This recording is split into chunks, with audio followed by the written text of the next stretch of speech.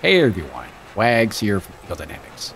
In this short DCS F-18C video, we'll discuss the terrain avoidance from TA radar mode.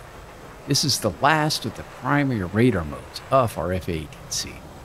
In the August DCS update, we plan to add multi-sensor integration or MSI, AWACS surveillance track files that can be set as an L&S or a DT2 without the radar transmitting. This will allow stealthy engagements AIM-9 and the AIM-120. This will be the subject of a later video. Let's get started.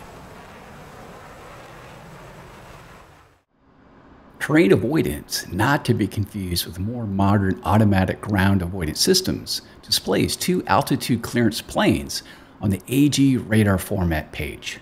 The format displays three colors based on the terrain elevation ahead and is restricted by radar shadows.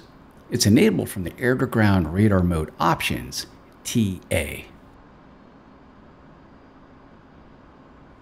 When the aircraft is in level flight or climbing, the radar will scan the terrain ahead and determine which terrain is near or above the aircraft's current altitude.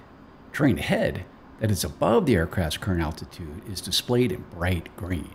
Terrain that is within 500 feet below the aircraft's current altitude is displayed at a lower intensity green an elevation head that is greater than 500 feet below the aircraft is in black.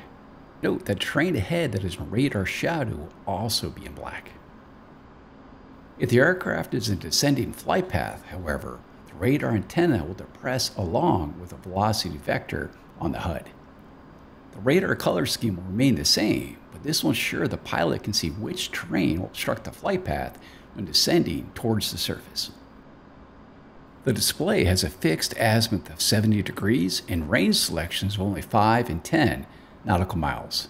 The minimum range display is 1.6 nautical miles. To the left and right of the terrain returns are static wedges that allow you to adjust brightness and contrast. While certainly not as useful as other radar modes, this can be a useful feature when flying low at night or in bad weather to avoid a controlled flight into terrain. I hope you enjoyed this video, and I'll see you next time. Thanks.